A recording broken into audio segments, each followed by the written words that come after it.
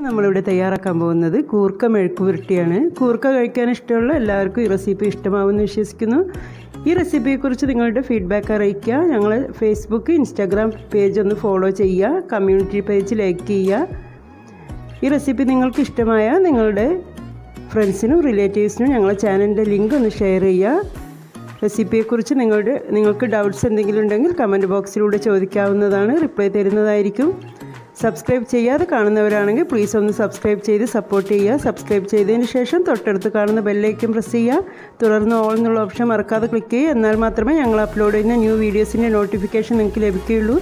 അപ്പോൾ നമുക്ക് നമ്മുടെ കൂർക്ക മെഴുക്ക് പുരട്ടി എങ്ങനെ ഉണ്ടാക്കുന്നതെന്ന് നോക്കാം. ഇതിപ്പോൾ ഞാനിവിടെ കൂർക്ക നന്നായി വൃത്തിയാക്കിയെടുത്തു വാഷ് ചെയ്തതിന് ശേഷം വെള്ളത്തിലിട്ട് വെച്ചാണ് വെള്ളത്തിലിട്ട് വെക്കാൻ കാരണം ഇത് പിന്നെ കറുത്തു പോകും. വെള്ളത്തിലിട്ട് വെക്കാതെ അങ്ങനെ വെച്ച് കഴിഞ്ഞാൽ പിന്നെ ഈ ഒരു രീതിയിലാണ് കട്ട് ചെയ്തിട്ടുള്ളത്. നിങ്ങൾക്ക് വേണമെങ്കിൽ ഇത്തിരി വലുതായിട്ടൊക്കെ കട്ട് ചെയ്യുക അതൊക്കെ അവനവന്റെ ഇഷ്ടം പോലെ. എന്നാലും ഒരുപാട് അങ്ങോട്ട് വലുതാക്കി കട്ട് ചെയ്യേണ്ട. അപ്പം ഈ മെഴുക്ക് പുരട്ടി കഴിക്കാൻ അത്ര തന്നെ ടേസ്റ്റ് ഉണ്ടാവില്ല.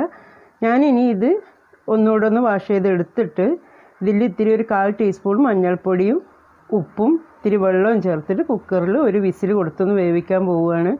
നിങ്ങൾക്ക് കുക്കറിൽ വേവിക്കണമെങ്കിൽ അതുപോലെ തന്നെ ഒരു പാത്രത്തിലിട്ടിട്ട് അടച്ച് വെച്ചിട്ട് വേവിച്ചെടുക്കുക പെട്ടെന്ന് വേവ് ഒരുപാട് വേവൊന്നുമില്ല. ഇനി ഇത് ഒന്ന് വേവിച്ചെടുത്തിട്ട് വരാം.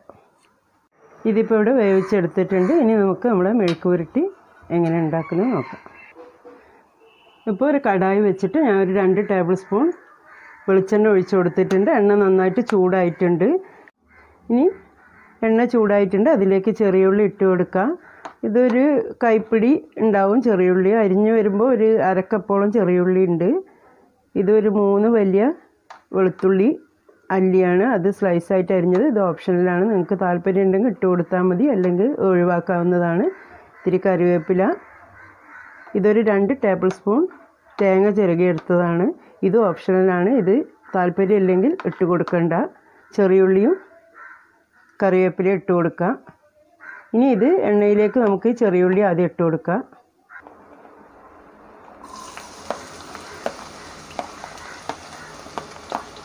ഇനി വെളുത്തുള്ളിയും കറിവേപ്പിലയും കൂടി ഇട്ട് കൊടുക്കുക. ഇനി ഇത് നന്നായിട്ടൊന്ന് വഴറ്റി കൊടുക്കുക.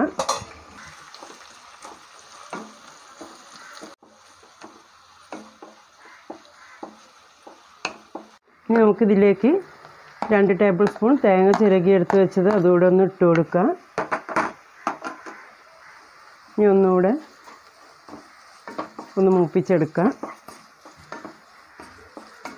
ഇവിടെ നന്നായി മൂത്ത് വന്നിട്ടുണ്ട്. ഈ ടൈമിൽ നമുക്ക് ഒരു ടേബിൾ സ്പൂൺ ഇത് ചില്ലി ഫ്ലേക്സ് ആണ്. അതായത് നമ്മൾ ഉണക്കമുളക് ക്രഷ് ചെയ്തെടുത്തത് ഇതുകൂടെ ഒന്ന് ആഡ് ചെയ്ത് കൊടുക്കുക ഇത് നമുക്ക് നോക്കിയിട്ട് എരിവ് പാകം അല്ലെങ്കിൽ ഇത്തിരി കൂടെ ഇട്ട് കൊടുക്കുക ആദ്യം നമ്മൾ നോക്കുക. നമ്മളെ എരിവിനനുസരിച്ച് ഉണ്ടോ എന്ന് നോക്കുക. ഇത്ര എരിവ് വേണ്ടാത്തവരാണെങ്കിൽ കുറച്ചിട്ടാൽ മതി. എല്ലാ ഒരുപാട് നല്ല സ്പൈസി ആയിട്ടുള്ളതാണ്. ഇഷ്ടമാണെങ്കിൽ ഇത്തിരി കൂടെ ഒക്കെ ഒന്ന് ഇട്ട് കൊടുക്കുക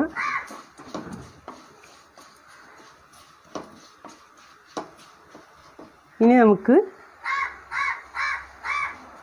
ഇത്തിരി ഉപ്പ് ഇട്ട് കൊടുക്കുക ഇത്തിരി ഇട്ട് കൊടുത്താൽ മതി. കാരണം നമ്മൾ വേവിച്ചപ്പോൾ ഉപ്പ് ഇട്ട് കൊടുത്തിട്ടുണ്ടായിരുന്നു. കൂർക്ക വേവിച്ചെടുത്തപ്പോൾ ഇത് ഇത്തിരി ഒന്ന് ഇട്ട് കൊടുക്കുക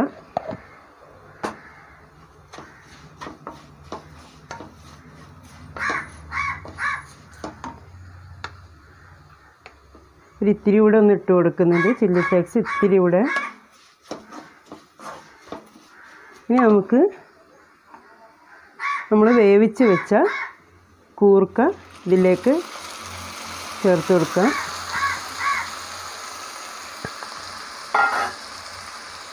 ഇത്തിരി കൂടെ കറിവേപ്പില ഇട്ട് കൊടുക്കാം.